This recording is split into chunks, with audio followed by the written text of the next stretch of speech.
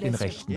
Chaque andante demande de son ans a permis 2% de la rechten Teil an der Nordseite sowie des Außenbereichs des Lebensmittels der Population.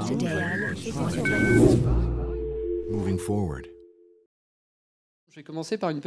Taking an interest in the media in general, let's start with an anecdote uh, from the movies, which will serve as a transition. In 2007, an American movie called Juno, you have a young American woman who falls pregnant by accident and wants uh, uh, to have somebody adopt her child. So she goes through the classified ads looking for couples uh, that want a child, and she finds an ad saying suburban couple, and so uh, that, that uh, looking for a child. And so this girl, this girl is concerned about the future of her child, and so for her, uh, the, the, the, very fact that these people live in the suburbs is a, a, guarantee of stability much better than the financial guarantees that are to be found in other ads. Now, uh, what is the connection, you might ask? Well, in con conversations we've had with Arnaud, uh, in rather informal talks rather than formal conversations, we found that in France, uh, you didn't find this sort of uh, positive uh, idea about uh, peri-urban life. You have a lot of critical uh, views or sometimes condescending views of peri-urban uh, life in France compared to what you find in America, and we found excerpts from the French media uh, where you had, in a way, a good representation of the way in which uh, peri-urban uh, life is uh, perceived by the people in terms of um, social space as well as uh, political space. And so we have a number of uh, newspaper articles where the words peri-urban or urban are uh, found. That was in Le Monde, the French daily newspaper. And we found that in the uh, second half of the 1990s, um, the uh, occurrences of uh, the word peri-urban and urban uh, has uh, increased, and there, there was uh, there were more articles about that. Journalists were concerned about the ethical dimension of the peri-urban and the sort of issues that might be of interest to the general public. So the sort of setup introduced, or the sort of the presentation by journalists, have decided to turn this peri-urban space into a political or urbanistic uh, issue. Uh, and that is uh, what you found in in the papers with the way in which the whole uh, peri-urban issue was represented. So we looked at several hundred uh, newspaper articles from uh, 16 uh, newspapers from between 2005 and 2009. In reading these articles, what we find that there's something of a consensus about the fact that it is impossible to arrive at a, a precise definition of the peri-urban. You have a lot of uh, uh, fuzzy definitions or some uh, articles saying that the, the whole concept is impossible to define altogether. And in fact, peri-urban is seen as a broader extension of the cities, the suburbs as well as further out, whereas uh, in geographical terms, the uh, immediate outskirts of the city are distinguished from the further outreaches, the further peri-urban areas. And so this confusion seems to show that the, the, the approaches are very very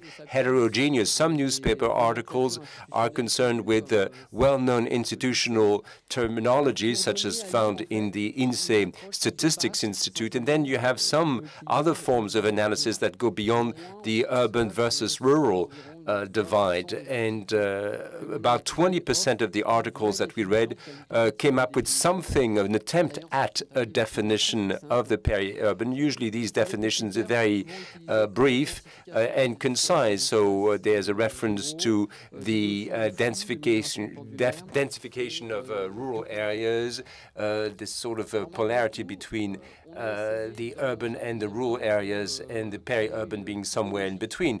In uh, we have tried to come up with a typology of our own, or at least looking at these articles, with four uh, categories. You have articles that come up with a neo-rural crit critique. So there's uh, looking at the peri-urban, looking at the countryside, uh, longing uh, for nature, and you, nature is recreated through private gardens, and this is looked with a negative contrast to the city, where the air quality is poor, you have noise pollution, and the construction is vertical. So peri-urban is seen as an anti-urban approach, or indeed a rejection of a collective life, uh, or a, a, rejection of uh, urbanism or urbanity.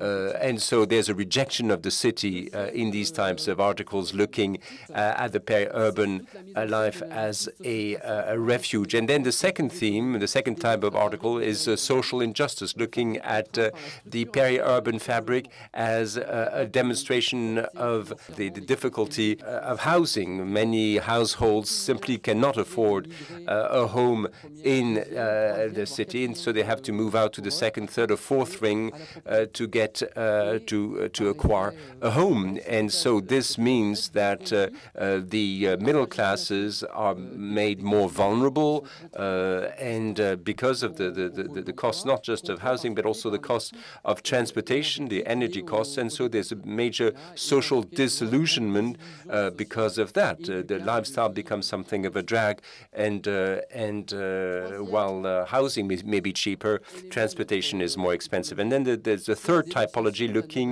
at an uh, unbearable lifestyle uh, and, and looking that peri-urban life becomes an unsustainable uh, burden for the rest of society. You have the the use of concrete and cars being used universally, destroying the environment, and this is, of course, incompatible with the concept of, uh, of uh, a society where public uh, public service uh, should be accessible to all. And so this brings about more insecurity, um, poverty, uh, and uh, you have this sort of anarchic uh, urban landscapes, or rather peri-urban landscape, landscapes, and and along with that, the National Front vote being a symbol of disillusionment on the part of populations living in these areas. And then the third, the fourth and final type in this analysis, the issues of uh, governance and regulation. And here the interesting thing is that you have rather forward-looking articles because uh, very often we are told that uh, local authorities uh, are incapable of uh, uh, controlling, as it were, property prices and the, or the use of property or the development of, of, of, of land. And so what is advocated is a better coordination between cities, uh, uh, protection of uh, agricultural areas, natural areas, and, and the building of collective housing in uh, peri-urban areas, and we have as many as 26 articles that call for better cooperation between the major players so as to better manage this uh, sort of uh, development of peri-urban space. For the past few years, this uh, uh, representation of the peri-urban in the media has taken a new turn with uh, a, paper published by Télérama. On the front cover, you had a provoking uh, title, The uh, Ugly France, La France Moche. And uh, that brought about lots of responses, including by Éric Chauvier, who published a book uh, blaming uh, Télérama for holding this sort of uh, contemptuous discourse on peri-urban. And then Télérama bounced back with a, another report on peri-urban France, entitling this a, a, dream gone wrong. And all the issues of uh, social uh, destitution and misery is blamed on uh, real estate developers, uh, supermarkets, uh, and decentralization and and all-out capitalism. So if we uh, look at what the journalists from Télérama uh, say, these articles uh, are disturbing because uh, they uh, they disrupt the uh, sort of uh, uh, political correctness of our elites. And in so doing, Télérama uh, really resorts to a stereotypical discourse, which is the one that was uh, found in or, or, or, produced in 1994 by James Kunstler in Geography of Nowhere. But there was nothing new about uh, that.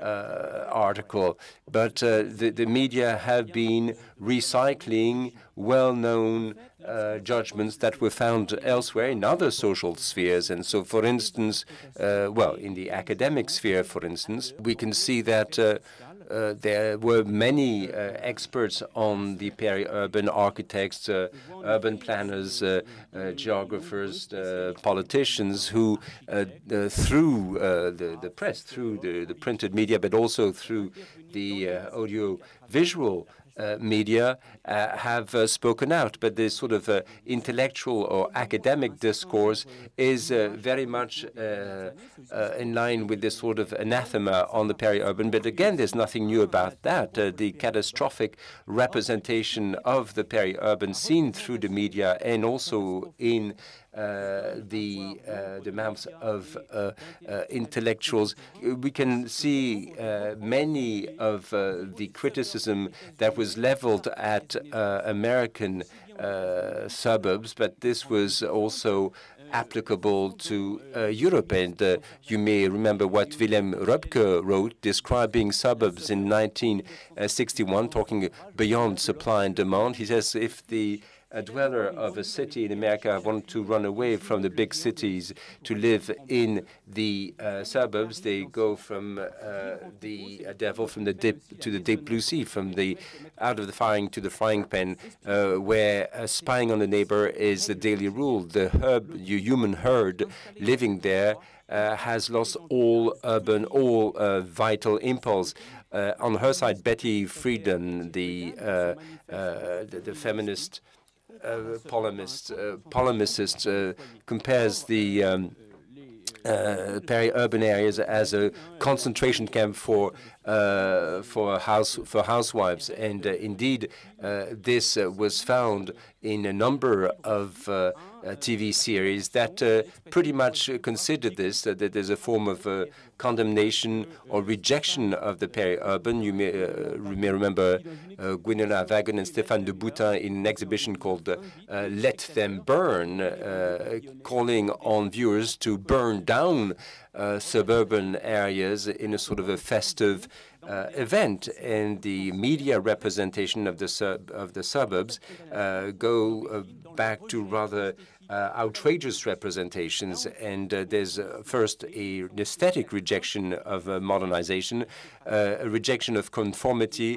but also a rejection of a form of cultural aristocracy. But the self-same arguments that were used back in the 1940s to condemn the effects of urban vertical gigantism are now used to denounce the peri-urban areas seen to be the sort of fertile ground for debilitating and a sort of conformity that might lead uh, lead to, to conservatism or indeed the uh, xenophobic or uh, hardline uh, reaction uh, uh, conservatism. And so we would like to return to this fact. I mean, we seem to have a challenge here because, of course, if you just use satire or uh, dramatization or, or, or uh, catastrophic description, this is not very constructive to lead to uh, responsible policies. So what you really need to do is uh, to uh, renew the uh, geoethical appreciation of the peri-urban with the new criteria. And of course, you have to resist the temptation of contempt or condescendence. Thank you very much. Well, thank you, uh, Gérald Billard and Arnaud Brennetot. Uh, if I may, a quick question. Would you say that uh, this sort of uh, phantasmatic stigmatization, as was found in the press or uh, in television series, does, does this reflect in a distorted way an actual scientific controversy because you established a link between uh, newspaper articles or articles by academics and then more simplistic views, but do you believe that there's an actual scientific controversy, or do you believe that uh, uh, uh, scientists bearing negative judgment on the para-urban, are they for real or are they also fantasizing?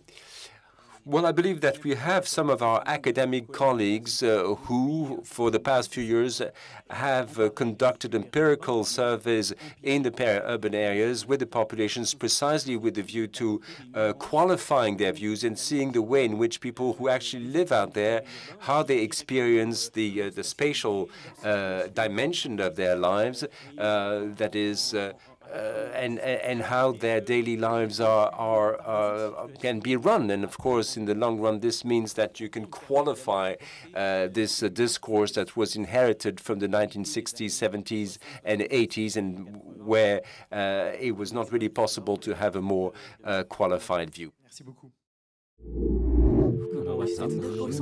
Den Rechten.